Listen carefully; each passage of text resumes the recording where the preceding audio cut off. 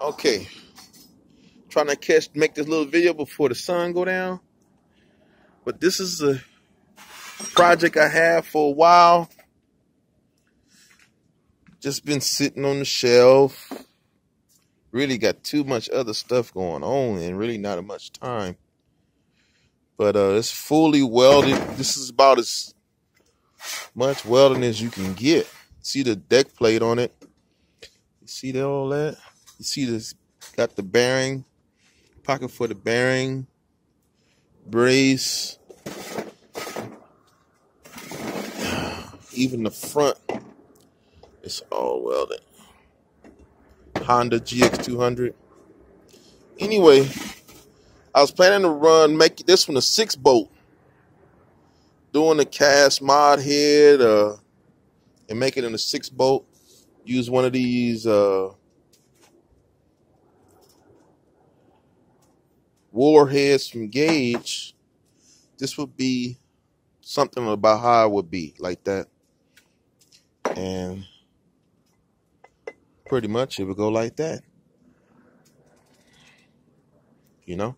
Anyway, I was making this video mainly about compression. A dude was saying that, oh, what's the max compression you can go? He got like 11 to 1 versus 13 or 12 to 1 a 14 to 1 uh, in the modified engine, uh, thinking that it was going to blow the jug off, right? But really, the compression doesn't blow the jug off, right? It all, you know, contributes. It's a, it's a lot more pressure on the block and all that, but it's not really the compression that does it. Over the years, I have seen many, many blocks blow the jug off, right? And the leading cause of it is quench. And a lot of people don't understand what quench is. Quench is when the piston is coming to top dead center and is at top dead center, right? The space between the piston to head clearance, right? Not piston valve is normally pretty far away because the valves sit about an eighth of an inch, to 200 thousandths down under the surface of the head right? So the piston to head. Normally, when the engine, you clearance in the engine uh, to put it together, you say, oh, I got plenty of clearance. I got, you know, the, the piston is hitting the head or the piston is flush to the deck. And then you say, okay, I'm to run uh, a 10 thousandths gasket, right? A factory 10 or 11 or 12 thousandths gasket. And you put the head on and you spin it over and everything clears. You say, yeah, that's good. Now it's ready to start up, right?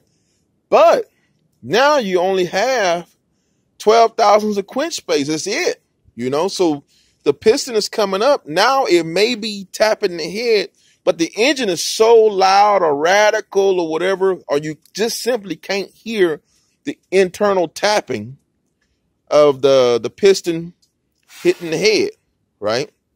So normally I like to run at least 40 thousandths, you know. I like to have either a piston sitting a little bit below the deck, 20, 30 thousandths below, you know.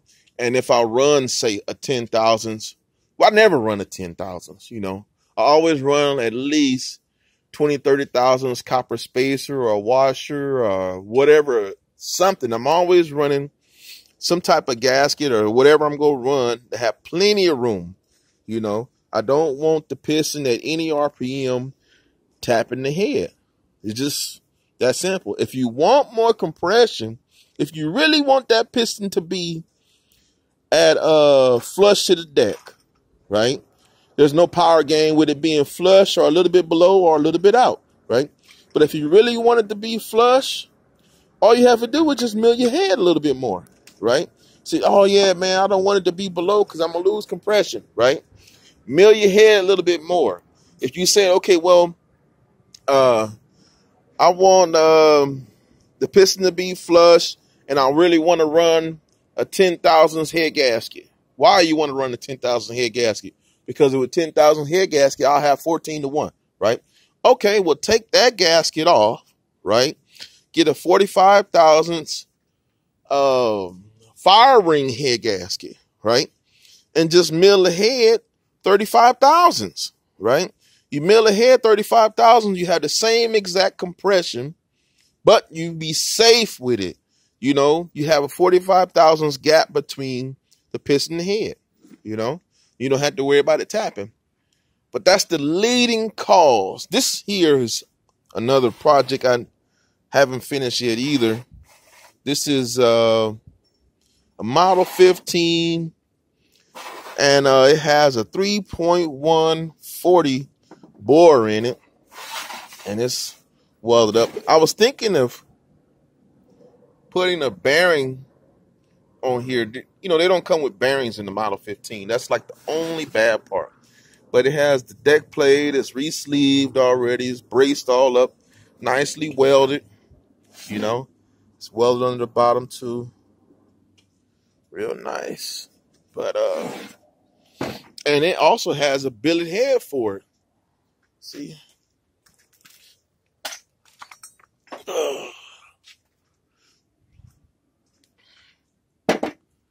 I just haven't finished it. I think this is 38, 32 valves.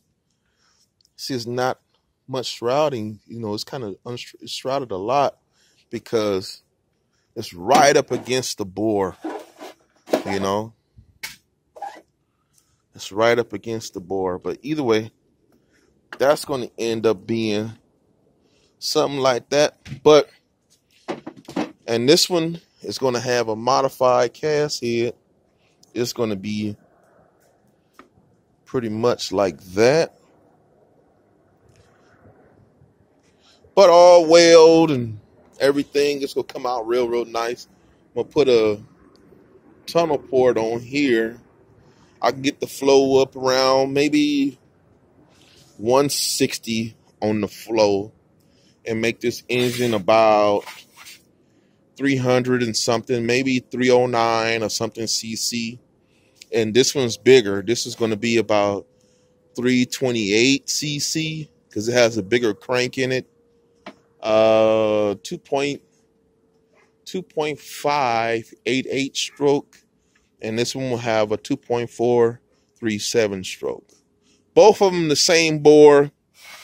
It will be a, a 3.140 bore, and this is a 3.140 bore. Anyway, uh, that's all I had to say about that or whatever.